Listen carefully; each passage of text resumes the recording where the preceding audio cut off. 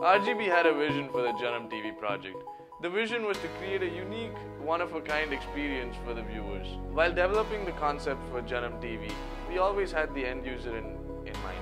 Uh, we wanted to create a system where, which was easy to use and the workflow could be easily incorporated into their day-to-day activities at Janam TV. Keeping that in mind, RGB was able to create various innovative solutions to the technical hurdles faced at Janam TV. In this day and age, each person is a cameraman. Each journalist has their own mobile phone, their GoPros, and uh, any other cameras that, that they can use in order to capture live footage. In this case, we needed to develop a system where uh, these feeds could be easily captured into the central storage and be converted into the house format that could be ready to play on air.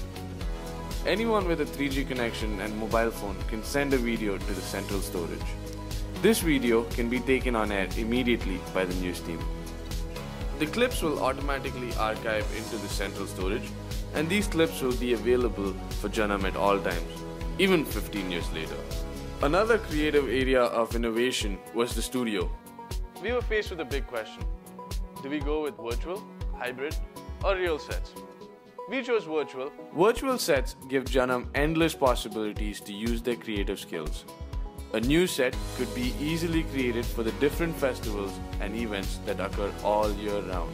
This is the heart of Janam TV.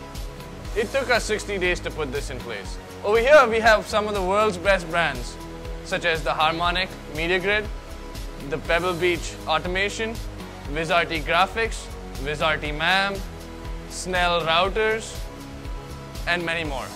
This system should hold Janam good for about 10 to 15 years.